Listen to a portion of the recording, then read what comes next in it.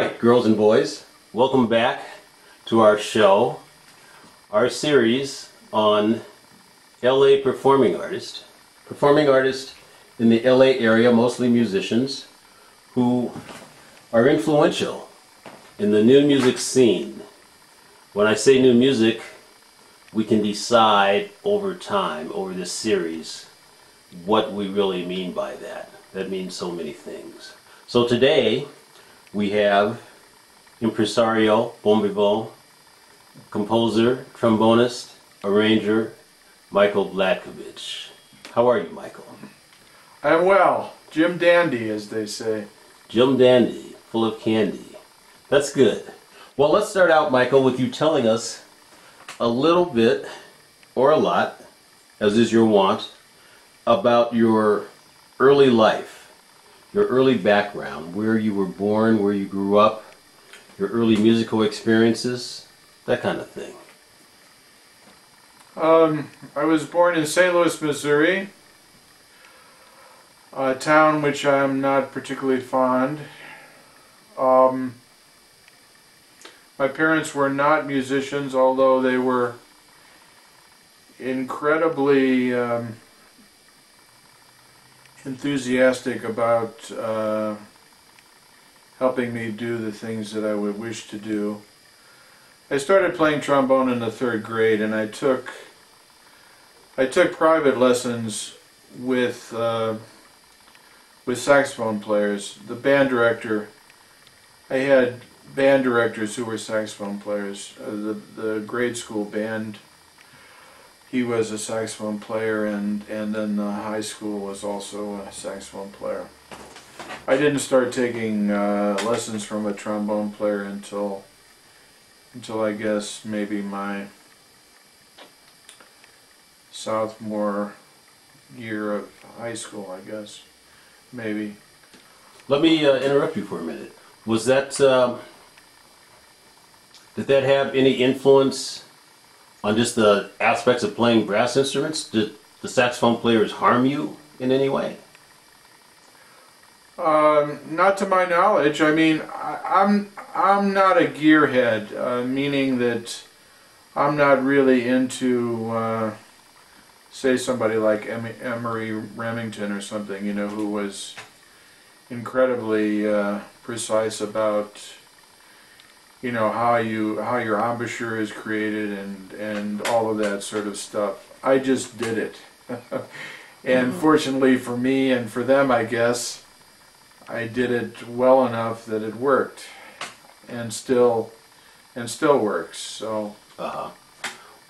How did you uh, choose the trombone? Was it you just saw it and wanted to play it, or you heard it, or it was what they offered you? What was that about?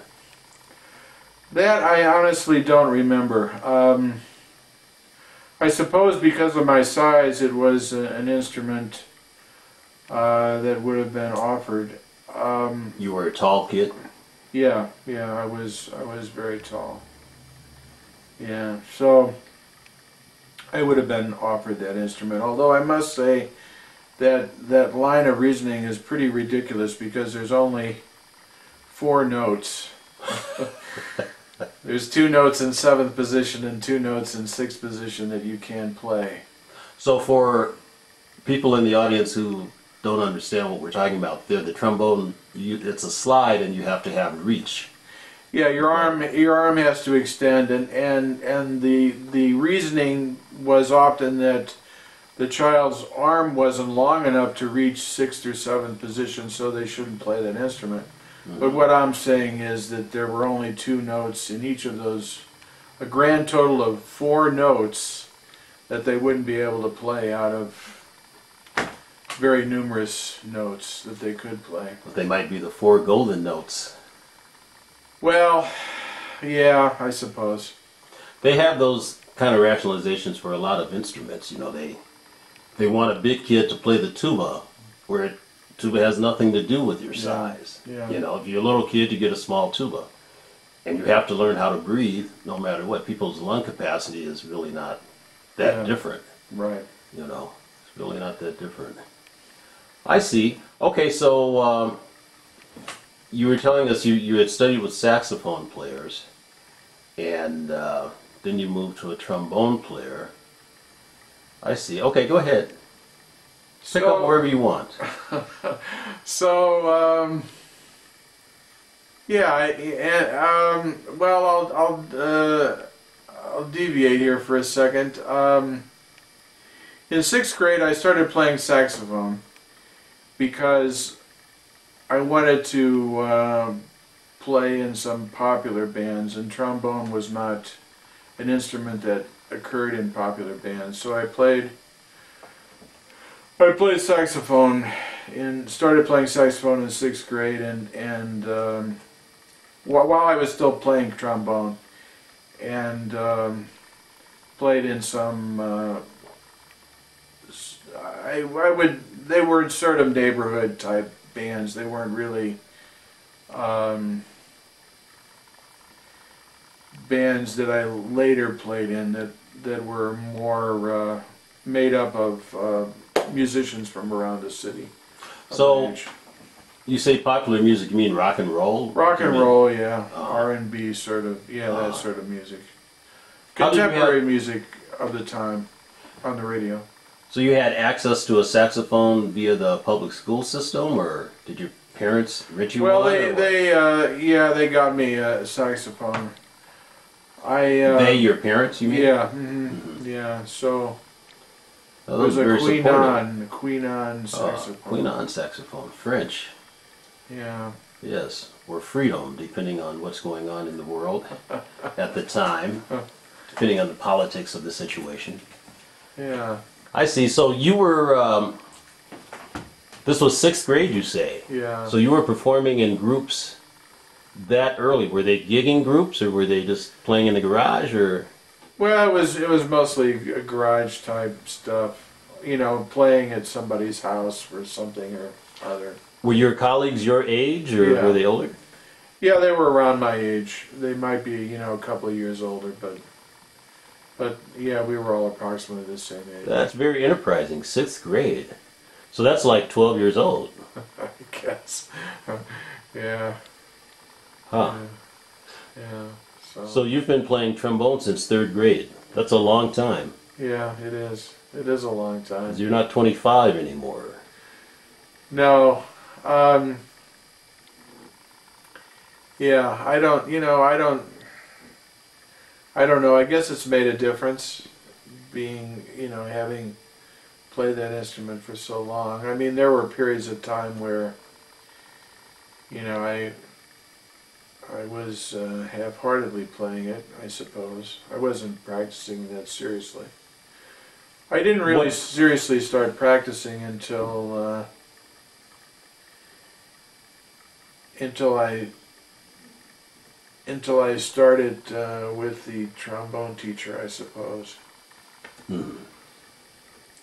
I mean, I would I would play the trombone and try to play the trombone certainly in practice, but but the uh, the uh, enthusiasm. I don't know if enthusiasm is the right word. Uh, it, the uh, I was more focused at that point in trying to uh, trying to figure out really how to play the instrument. I see.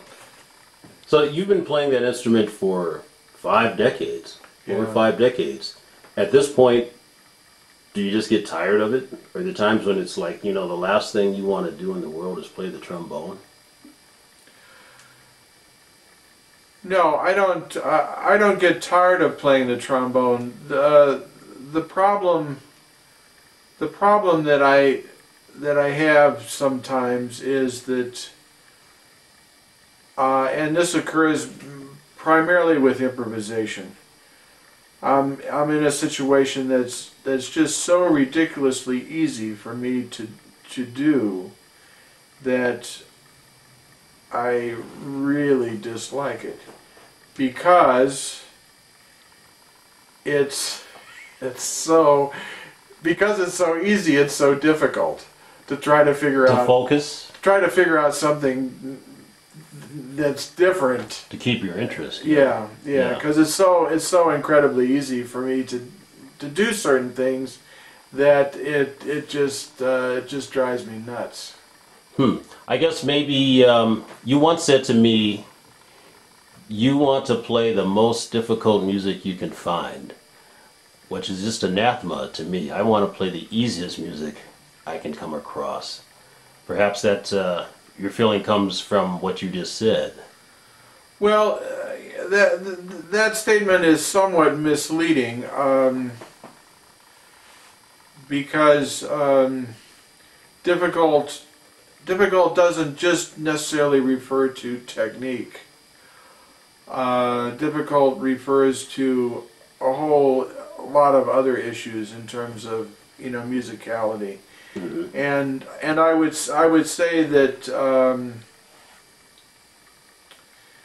that probably is difficulty probably is more I'm more interested in that sort of difficulty than I am in in technical things. Although I, I certainly appreciate uh, people who are capable of, of playing with precision at uh, the, with you know with uh,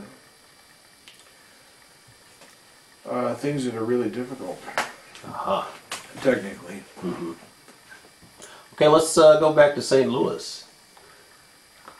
St. Louis, Not one Beer of your favorite town. towns. beer town, sports. Neither one of those things I was involved. So, it- it What does that mean, a beer town? That they make beer there or they drink a lot of it? Or both? Well, Anheuser Busch. Ah. Anheuser Busch was was there. Anheuser Busch was the was the first man to to figure out that uh, it was best to control every aspect of the beer market. So he Mm. uh, he did all of it. he did bottling. He did the you know the transport. He did everything. Why do you know that? Because you're from St. Louis or? Yeah, yeah. I see. Uh, anyway, Anheuser-Busch, uh, they don't own the company anymore, but um, yeah, it was a beer town and, and, and sports. And neither of those things uh, have ever interested me, so I was I was the person with the brown shoes and the tuxedo all of the time. What does that mean? The brown shoes and the tuxedo. The tuxedo wasn't brown, was it? No. So, so what were you on about? Well, I, I really I really felt uh, always uh, very odd. I never I never really felt like I fit in. I Uh-huh. always it was always uh, very strange for me. Um, so it, you know it it uh, it took a long time to figure all that stuff out. Do you feel like you fit in now? You're in Los Angeles now. Actually, you go between Los Angeles and Portland, and St. Louis, and Seattle. You're one of the most traveled Yeah. guys on the planet. Yeah. Um, well, certainly uh, a lot more than I did. I uh, I fortunately really um, deal primarily with with people, you know, creative people. So so it's it's e- easier easier for me. Not that the not that the other people want to deal with me anyway. Uh-huh. I don't think they do. Huh. The other people in the world. Yeah. You may be better off. yeah, You may be really. better off. So you were in St. Louis through high school? Yeah, through high school, I uh, I got a scholarship to go to a, a very, very, very, very, very, very, very small college called St. Louis Institute of Music, and uh, I went there for several semesters, and then I transferred to uh, North Texas State, which was a very, very, very, very, very, very big school. So I went from one extreme to the other. Uh-huh. Uh-huh.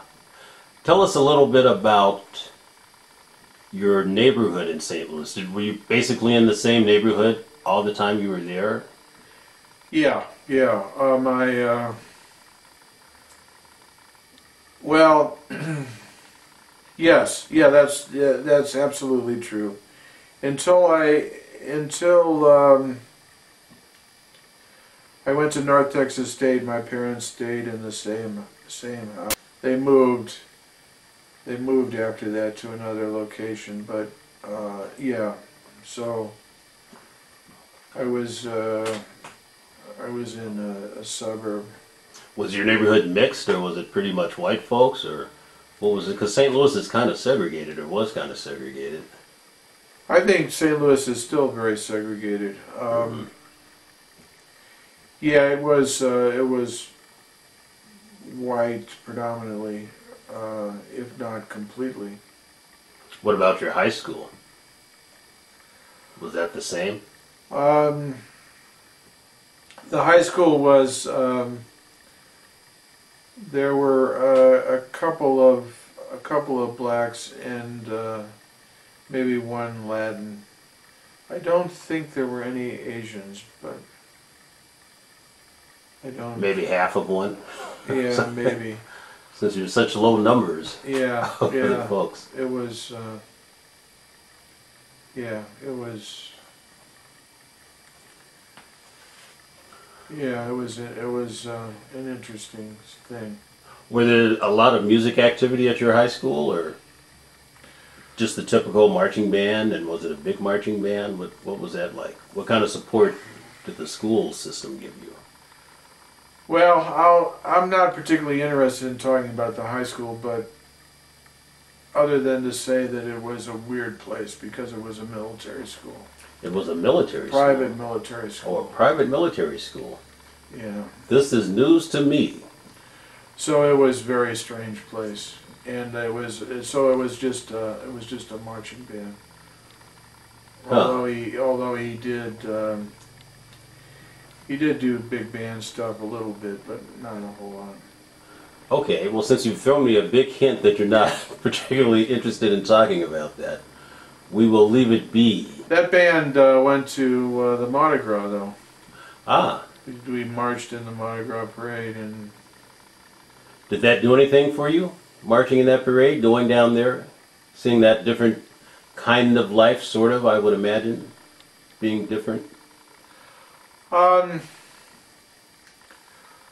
well, it was it was a, it was an interesting experience because this was you know the '60s, so um, things were still somewhat somewhat tame in in the sense of of parades anyway. People were pretty well behaved. I mean, they were putting beads on you and stuff. They weren't, uh, you know, throwing uh, rocks at you or uh, charging you. Charging you. You mean charging at you, or you mean the cops charging? Charging at you, yeah. Ah, I see. I see.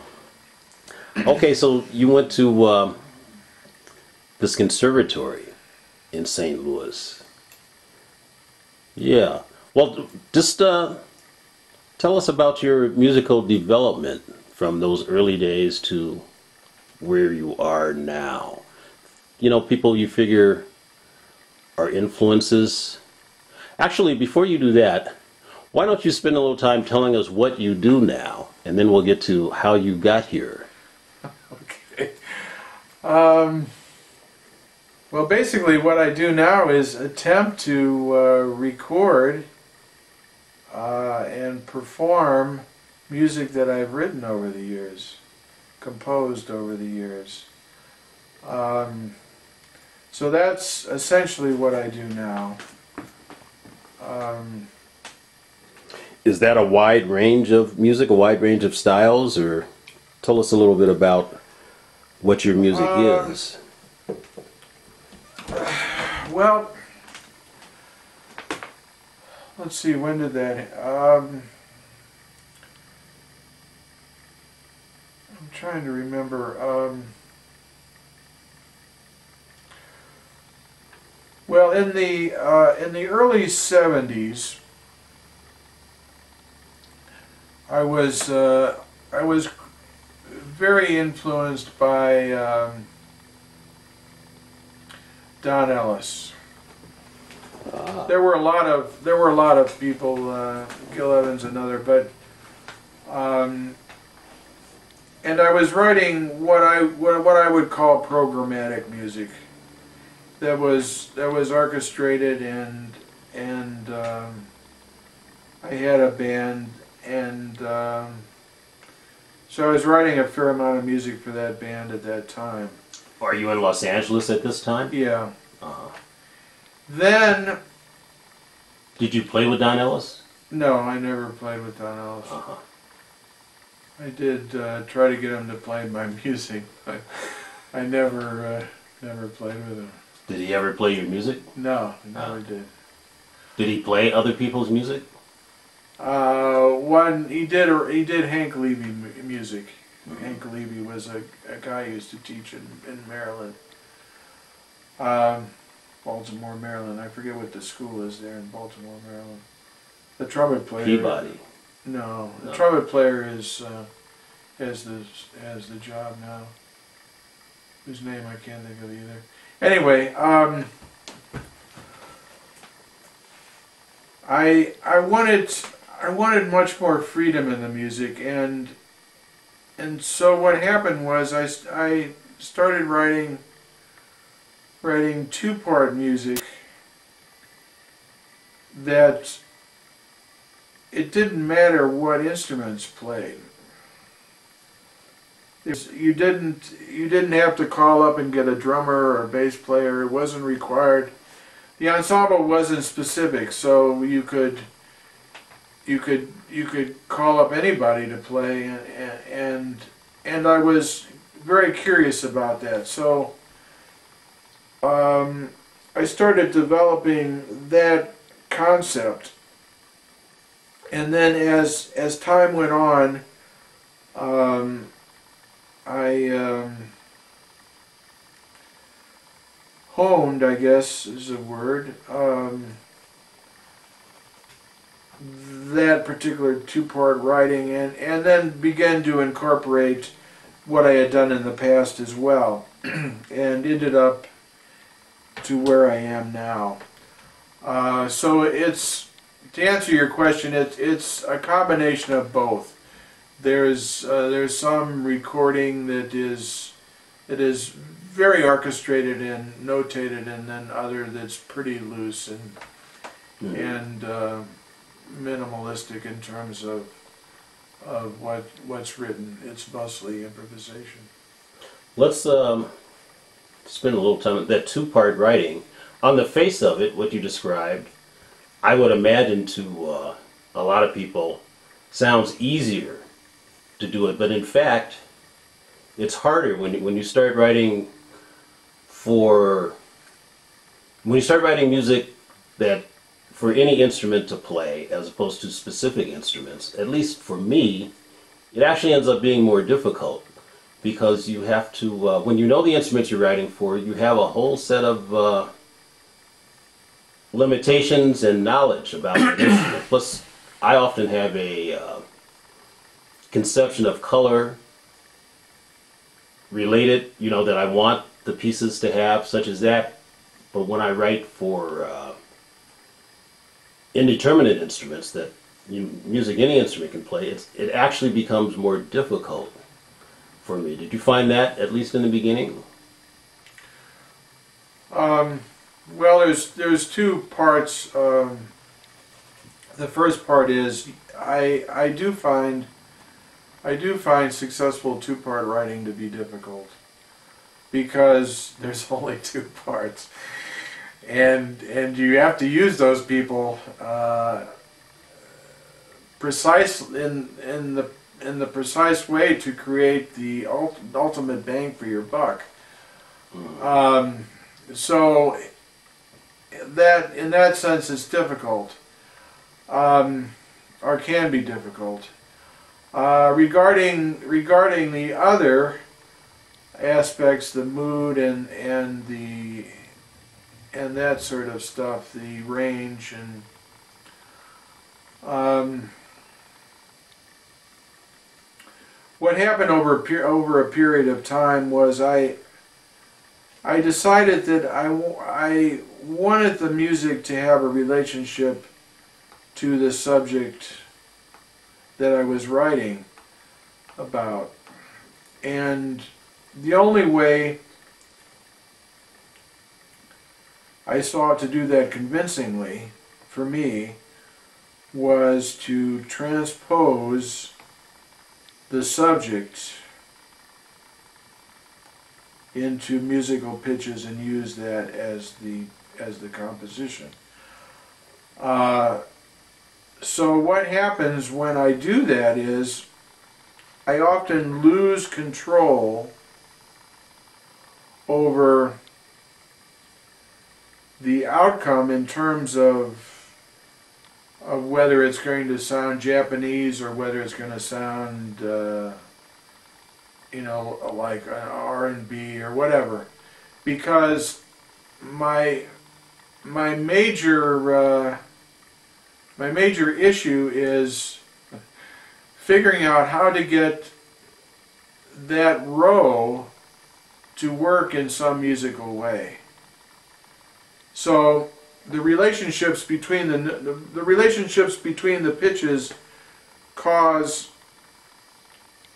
uh, create tonalities and create um, tension and release sort of things. So you have to you have to spend time figuring out how to how, what's the most uh, what's the best way to get those pitches to work. So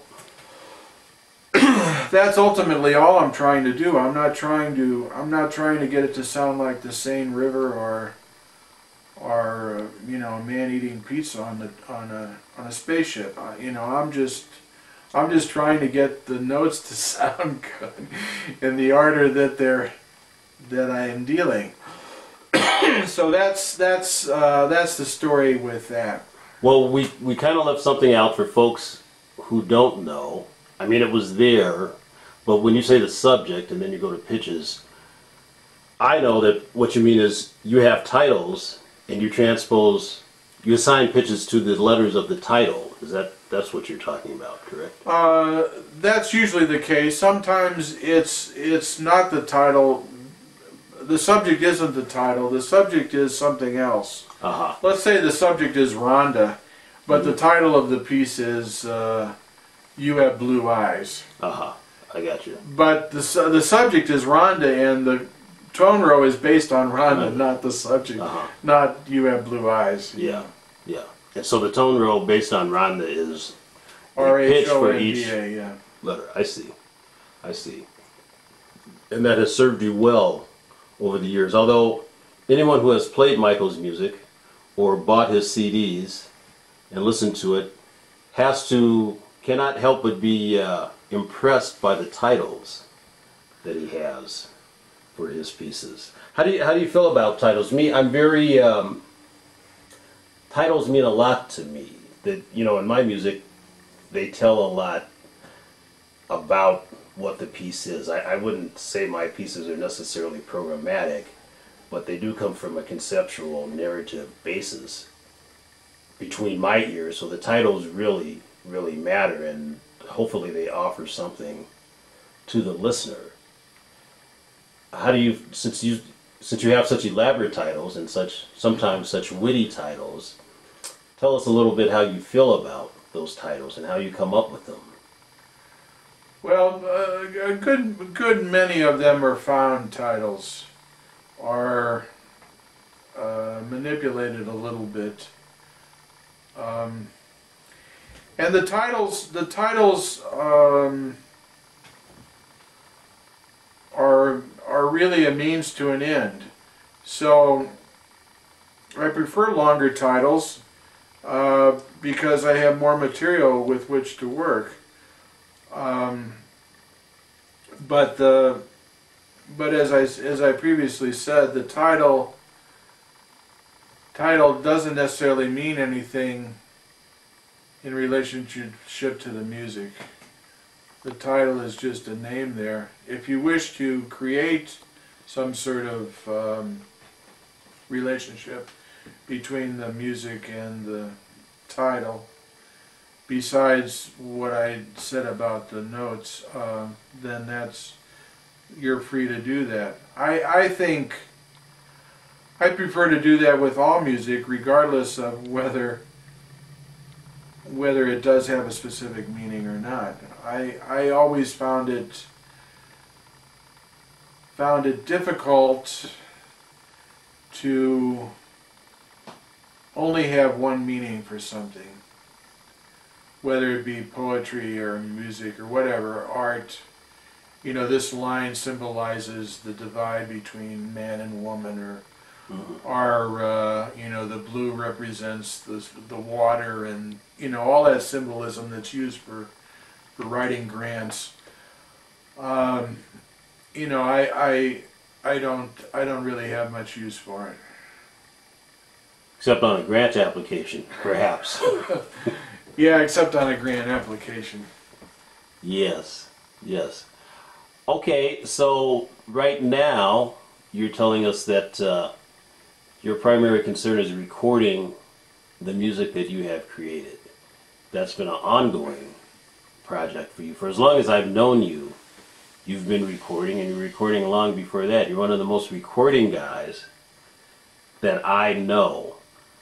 Why do you do that? What does that do for you? Are you doing that for the world? Are you doing that for you? What's that about? Because not everyone does it. Not everyone believes in it. Well, um, what I'm most interested in doing is attempting to create with the music that I create the feelings that I've experienced from other people's music. That's interesting. So I'm on this, I'm always on this quest to try to recreate emotional responses that, that I have to other people's music with my own music. And and that's that's why I do it. Do you uh, think that's weird? Have you ever heard anyone else express that's why they do what they do? I don't know. I hadn't really thought about it in those terms before, but that's ex- that's precisely why I do it. I mean, I don't. I don't think in and of itself it's weird. I think it's probably fairly common, but at the moment I don't recall anyone putting it that Yeah. way. But you know, in a way, that's where we all come from. We hear music first. We hear music and it, t- and it And touches moves us. I mean, Yeah. very deeply, in in very precise ways, and and to try to figure out how to recreate that, I find I find very fascinating. Yeah, that's uh, food for thought. Michael Vlatkovich, let us um, let us let you continue. Get back to this journey.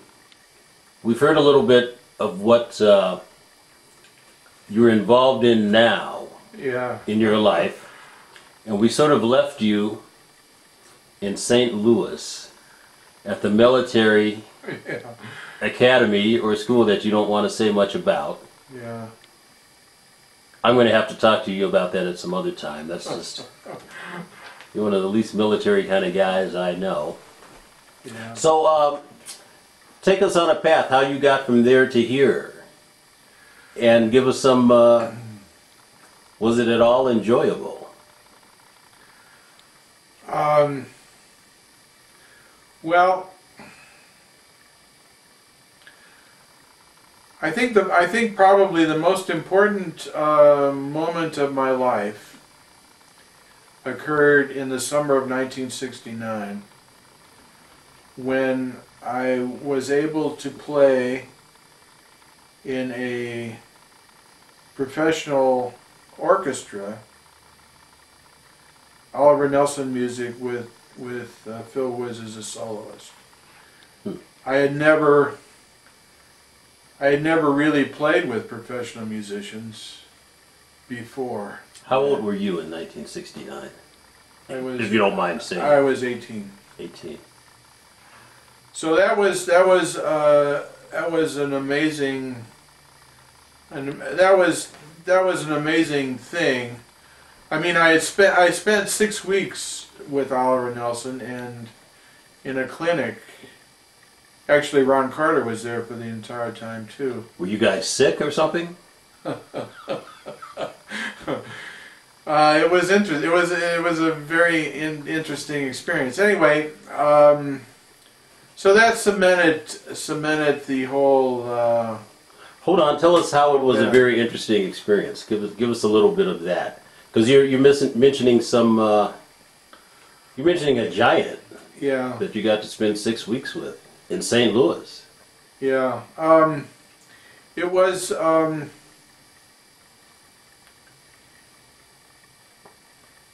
I- you know, I, I was I was im- immersed in a uh, in what became, you know, in a odd sort of way my future. I mean, I up till then I I never really I never really got to uh, got to experience experience that. Uh,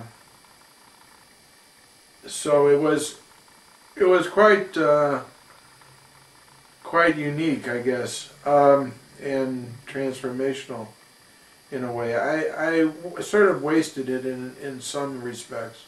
I would go and hear Oliver Nelson play every week because he did a he did a quartet every every uh, we did a concert every week and and he and after the big band played he would play and I would go and listen to it but I I didn't pay as much of attention as I should have at the time. Is that what you mean when you say you sort of wasted it? What, what do you mean by Well, that? some some sometimes, yeah. I thought I did. I thought I wasted some experiences that I should have uh, taken more seriously. Oh, whether I could have taken, could have digested more than I did, I, who knows? Maybe I couldn't. Maybe I was I was taking in all I could at the time, which is probably more likely. Because I was I was pretty naive and and uh, and uh, not very knowledgeable. Well, you were only 18 Yeah. and in St. Louis, but it's got more to be with 18 than being in St. yeah, Louis. Yeah. So, so, um, so the, the I, I was studying. You know, I had been I had been studying now for a couple of years with the principal trombonist of the St. Louis Symphony, and he suggested that I go to North Texas State. So I went to North Texas State. Um, and then, um, and I had a good friend I had a good a good friend in St. Louis who was also a trombone player who who uh, went to Eastman and uh, and then ended up going to Los Angeles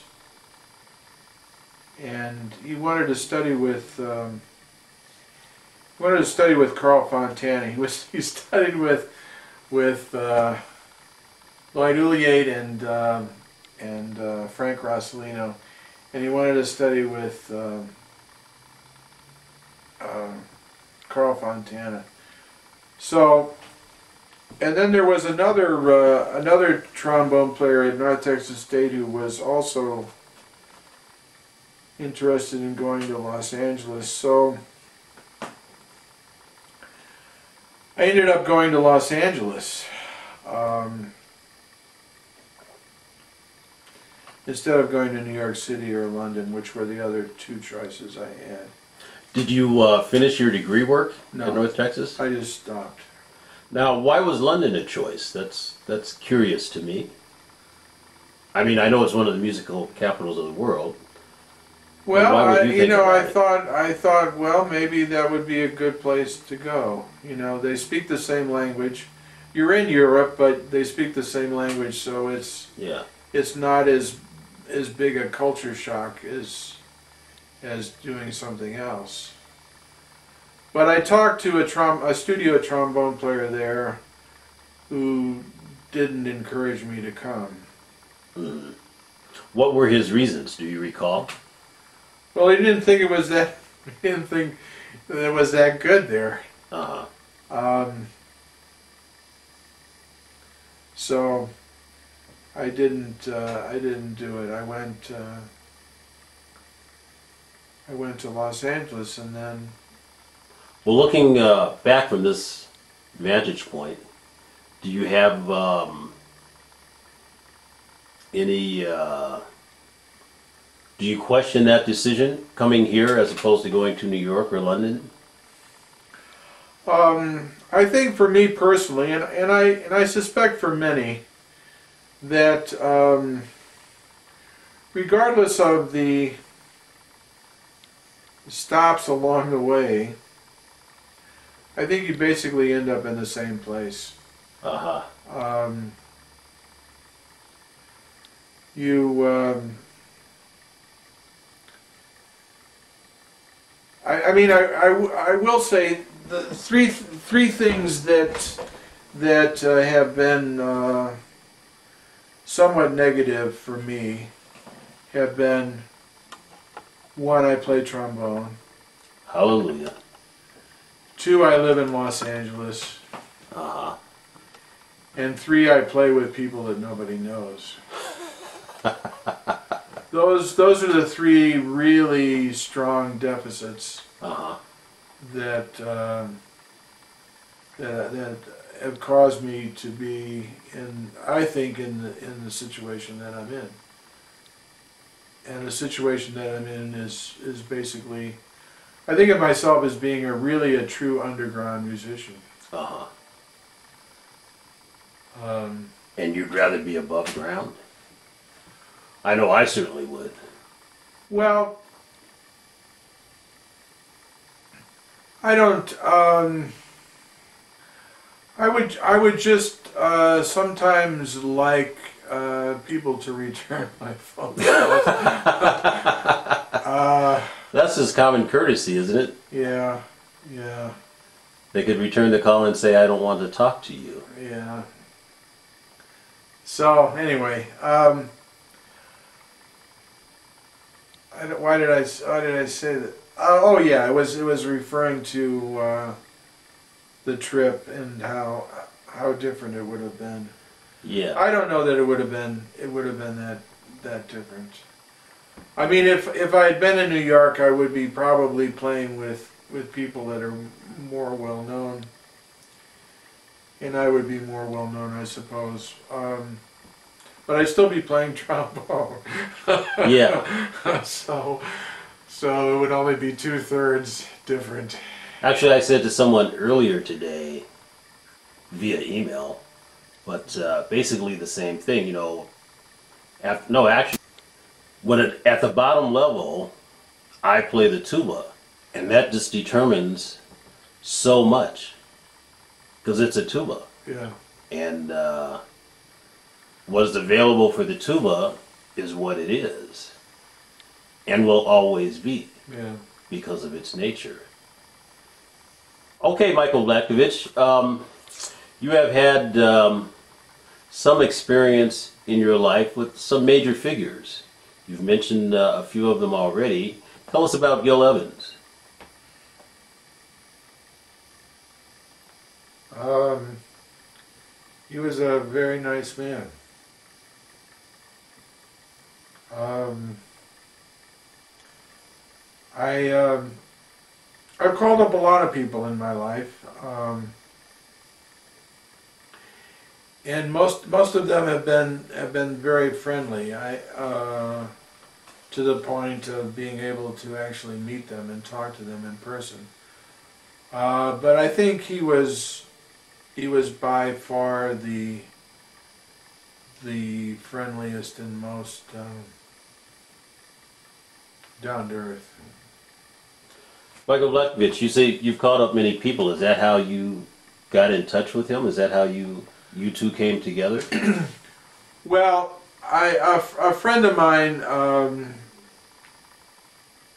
uh, knew him and and uh, used his name. I don't know necessarily that I needed to do that, but I did it, and so I I was uh, I was introduced to him through someone else.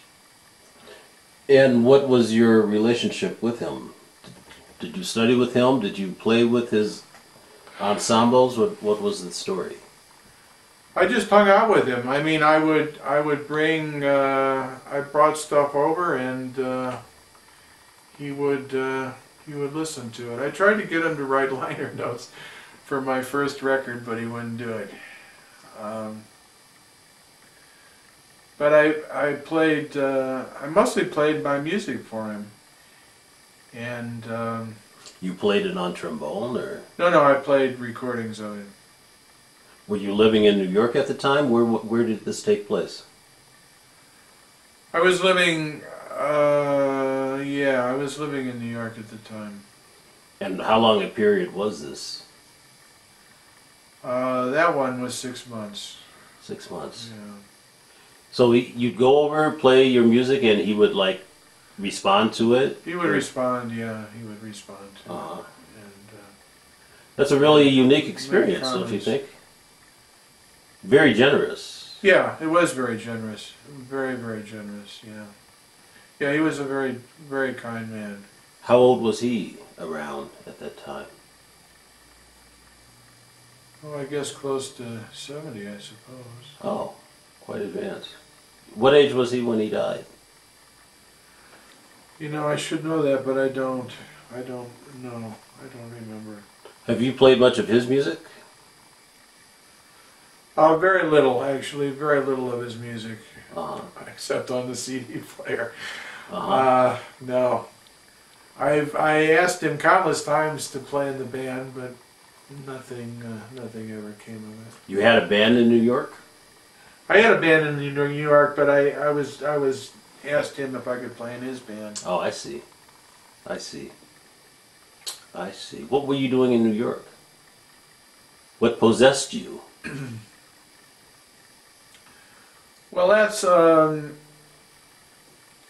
I felt um, this was 1978. 1978. this time. Um, I, I felt that I needed to go there and and really uh, really see what jazz was like because I didn't I didn't get a feeling that jazz in Los Angeles was what I was what I thought it would should be. So, um, this is this is sort of an odd story. Um, my my wife at the time was um, was rehearsing uh, was rehearsing a show with um, uh, the entertainer guy. What's his name? The entertainer guy. That's The a- guy that wrote the entertainer. Oh, Joplin? No, no, no. The The movie? Yeah, the God, I can't think of his name. The director? No, no, the composer, Har- Hamlish, Marvin Hamlish. Uh, She was she was doing uh she was doing a, a she was she was working as an accompanist for Marvin Hamlish. And Marvin Hamlish was taking this show to to Broadway. And he had told her that she was going to go. Uh, so I was talking to the to the um, to the contractor who was going to be who was going to be the uh, uh, the person contracting that show. and then uh, Marvin Hamlish uh, reneged on my wife, and my wife ended up suing Marvin Hamlish. And and the uh, the contractor would only talk to me about trying to get her to to drop the lawsuit.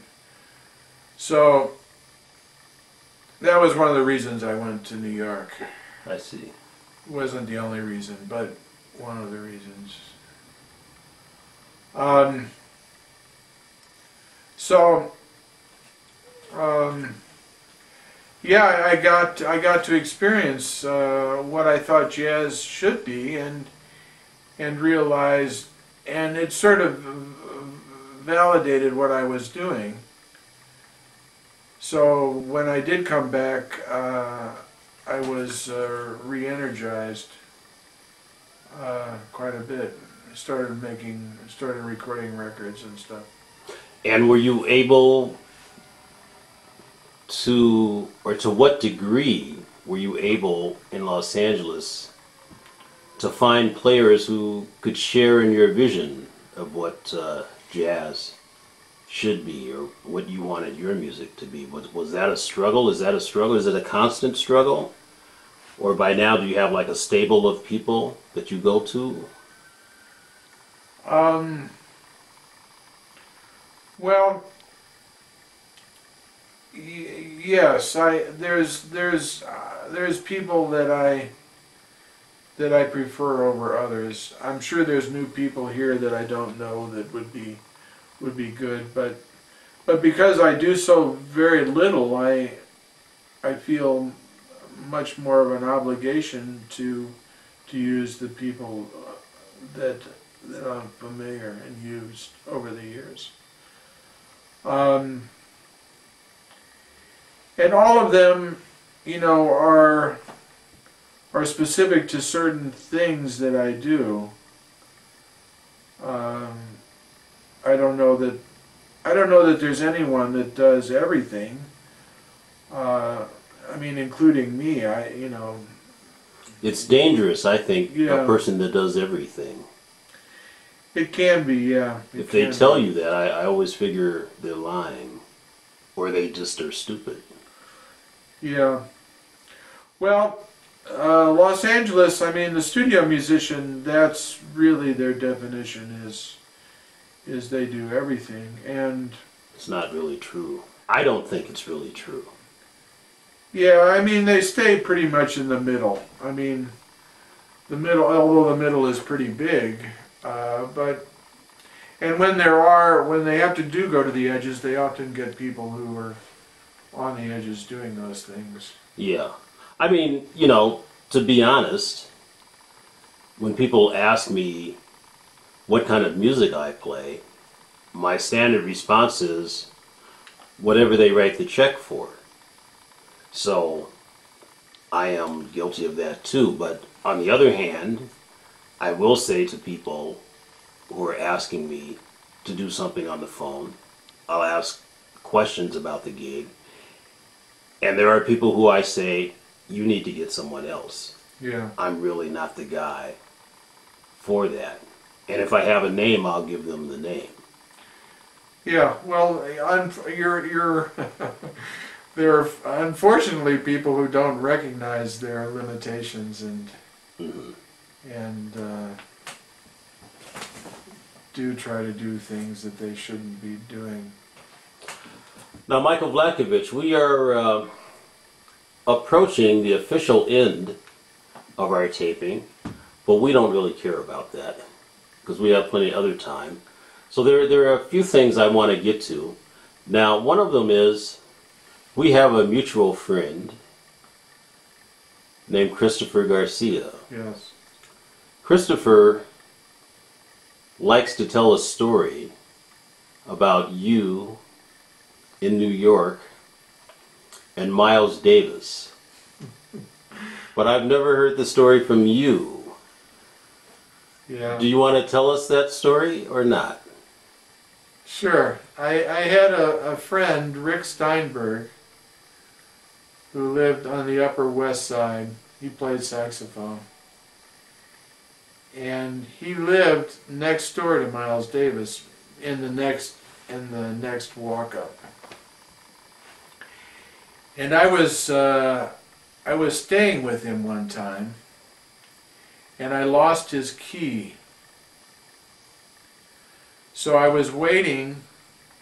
I was waiting outside, sitting on the stairs for him, for somebody to come back. And Miles Davis walked by and asked me if I needed help. Oh, And what did you say to him? I said no, I was fine. And what did he I say said. to you? I said okay. Ah. That's um, curious in its way. He's curious in its way. Obviously, you knew who he was, and uh, I guess I mean you know I, I passed up a moment to actually I guess chat with him, um, but I, I at that moment I didn't have anything really to say to him, um, so I didn't. yeah, he might not have chatted with you. Yeah. I mean, I thought it was I thought it was very uh, very thoughtful, you know, that he he took the time to ask, you know, if everything was okay. Yeah. Yeah. Was he just walking down the street, or I guess you don't know. Yeah, he was walking back. He was walking back to his place. uh-huh. Yeah. Ah, curious. Um, you have mentioned your parents. For me, like my, not my parents, but my guardian, was very supportive of what I did. And the only other person who's been interviewed in this series, Joseph Mitchell, his parents were. His father was a musician, Joseph's, you know. His father was a trumpet player. Played with Basie and folks like that. Um, I didn't know till I did this series that uh, his father actually played with Coltrane. Uh, Coltrane was just another guy in the band, you know. yeah. Um, and so you say your parents were supportive. What do, you, what do you think that was about? Do you think that was just because they loved their kid and they wanted, and he was staying out of jail, he had something to keep him out of jail, and that was hip, or what do you? Yeah, I, I, um, yeah, I, I guess, I guess, in a way, all parents are, are you know, freaked out and concerned that their parents are going to become uh, less than desirables. Their kids. Yeah, I, I thought, um, I thought they were overly that way, uh, but they were. I mean, they were incredibly, incredibly supportive. Always, always very, very supportive of uh, of the stuff. And in fact, it's uh, oh, unless somebody's heard the first record, nobody would really have the have the have the true sense of what I'm saying. But when my parents got the got the first record, they went to the neighbors and played it for them. so I I can't imagine what that was like. Yeah, that well, that's something. That's really something. Very much so. So, you, as I think I said, you're one of the most recording guys I know. Um, in my life, I'd say there's three folks who convinced me to record and record often, whether I put the recordings out or not. That's you, Glenn Horiuchi, and uh, Vinny Golia. You know, you three guys are, and in the case of Glenn, was recording fools. You feel it's worthwhile. You know, I'm, I'm, I still think it's worthwhile. Putting them out is a is a different question. I, I don't know if I'll ever pay to put out another CD, but that's got to do with um, advancing technology. But uh, who listens to it and and who cares and why do you care? Um, yeah, I, you know, uh, I think of them sort of as as children in a way.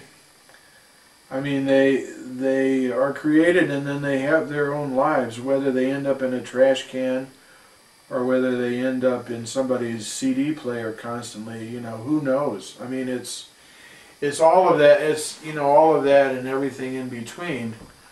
Um, it is. I, I do find it. I do find it uh, fascinating. Having done this for so long, you know, you never. You just never know what people are going to like, what they're not going to like. Um, So it, it's it's a constant uh, learning uh, situation for me um, in terms of, of the CDs and, and what what happens. I, I you know I make a I make a serious attempt to get them out into the world because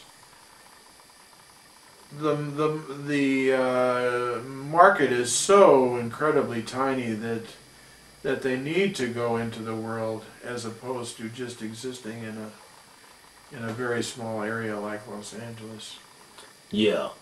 And the CD allows that is the only way to allow that to happen. Uh, you can't uh, you can't invite somebody from uh, Albania to come to a concert in Eagle Rock, you know, and expect them to come. There you go. You can invite them, but it's, it's not likely they're going to show up. But th- but they can certainly uh, hear the CD on the radio or or even own the CD if one so desired. Yeah. Or in this day and age, hear it on the web. Yeah. Yeah. It's um it's not a shock to me, but it's always interesting to me how far these projects actually travel. You know, when you least expect it. Someone from the northernmost point on the planet knows something Yeah. that I've done, whether it's my own project or with someone else. It's not that it happens often, but uh, Yes, it's refresh. It's refreshing. It's refreshing yeah, to know that, that there's somebody else who is at least a little bit like you yeah, in terms of their preferences. yeah. Well, Michael Vlatkovich, um, this is your time to say anything you want to say about anything, actually. You can take some time and uh, say what you want to say about something. Something you want to say to the youth of America or to the old people or to the folks in Albania Yeah. or to trombone players why you should or should not have a green trombone. yeah. You know, whatever you want to say. Well, first of all, I think I think uh, everyone should explore their creative side. However you do that, whether it's knitting or uh, cooking, whatever it happens to be, I think it's important to express yourself in other ways other than through language. And and also, I think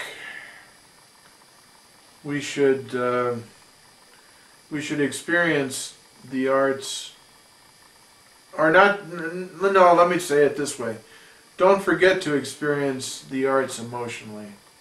Don't think that you have to have a doctorate in music in order to appreciate music or painting or whatever it is.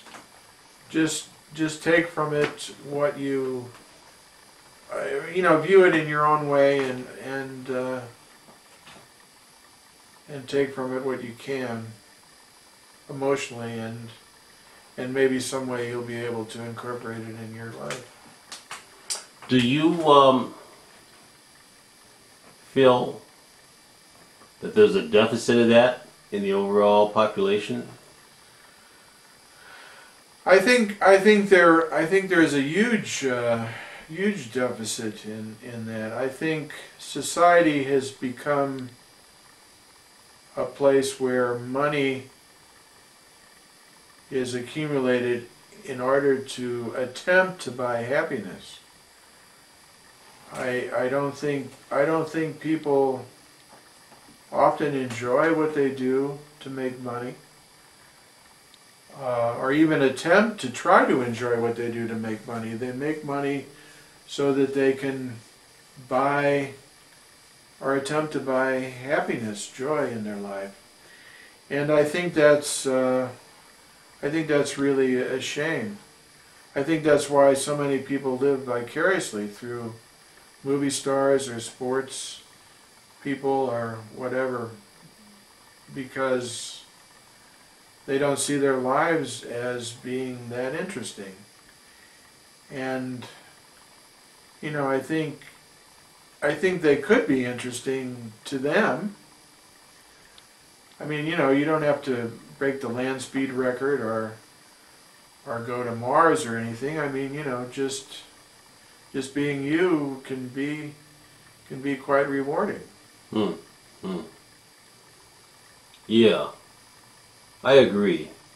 Although I'd like to go to Mars. I might even be willing to be one of those uh, one way trip Mars persons. You know, Yeah. I mean, if you're driving to San Francisco and you get hit by a semi, it's a one way trip.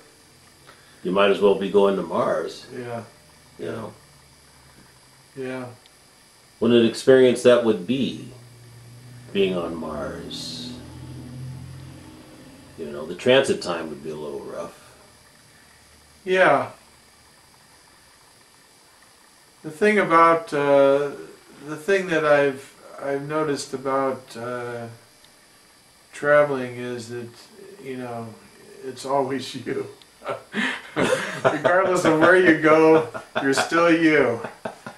I mean, it may look different out there, but Uh huh. in here, it's still you.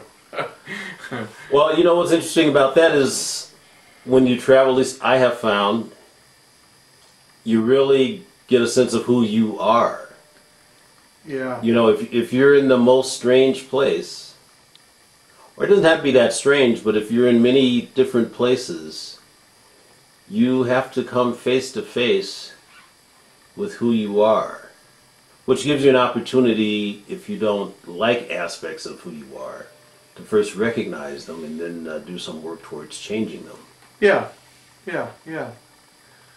Yeah, I think yeah, I think that's that is the advantage to traveling is is is to learning how to being able to learn how you want to be. Yeah, yeah, yeah. Because when, when you're in a strange place, if it's a really strange place, you have nothing to fall back on Yeah, except you. yeah, And you can find you very wanting at times. And so then you're going to have to do something about it. And you kind of have to do something about it immediately, hmm especially if you're not coming back in 24 hours or 36 hours. yeah. You kind of have to get it together real quick. Real quick. Okay, Michael Vlatkovich, well, we would like to thank you. Thank and I would like to thank you also for Thank you. giving your time. It's been a very uh, rewarding and uh, interesting conversation. And for our viewers, stay tuned. There will be someone else showing Someone up else, yeah. in this chair. I don't know who yet. I don't want to tease you with possibilities. Live long and prosper. Don't take any wooden nickels. Don't eat any yellow snow, especially if you're in St. Louis. Thank you very much.